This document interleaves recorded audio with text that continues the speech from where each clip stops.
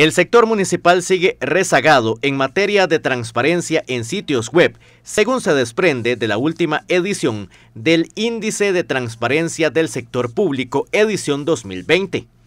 Estos datos fueron dados a conocer por la Defensoría de los Habitantes en asocio con el Centro de Investigación y Capacitación de Administración Pública de la Universidad de Costa Rica, como resultado de la sexta edición de este estudio en la cual se evaluaron los portales web de 253 entidades públicas.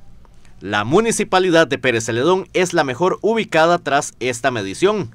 El ayuntamiento generaleño está en la posición 15. Estas fueron las calificaciones de las municipalidades aquí del sur. En el puesto 15, como les mencionaba, la de Pérez Celedón, con un 42.49. En el puesto 20, la municipalidad de Osa, con una calificación del 38.39. En el puesto 30, la Municipalidad de Corredores, con una calificación de un 35.59. En el puesto 50 aparece la Municipalidad de Cotobruz. La calificación fue de un 28.11.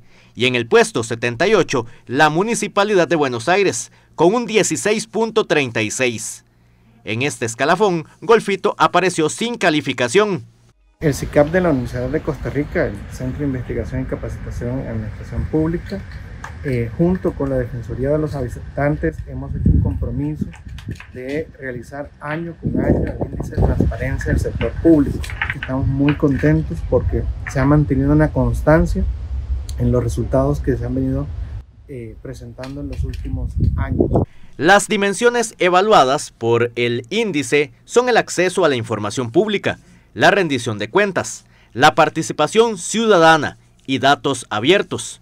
En cuanto a la dimensión de acceso a la información pública, entre otros asuntos, se evalúa información básica institucional, de los servicios, del personal, activos inmuebles, asesorías externas, así como servicios y procesos institucionales colgados en el sitio web.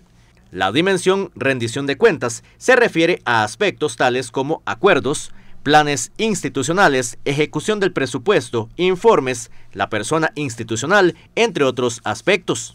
Los datos arrojados por este índice dan cuenta de que es necesario que tanto municipalidades como consejos de distrito redoblen esfuerzos para transparentar información a los ciudadanos y también a las ciudadanas por medio de sus páginas de Internet con indicadores específicos, claros y alcanzables en lo positivo, se debe resaltar que el sector municipal fue el grupo de instituciones que menos disminuyó su promedio general respecto al año anterior, dado el retroceso general que sufrió todo el sector público durante el 2020.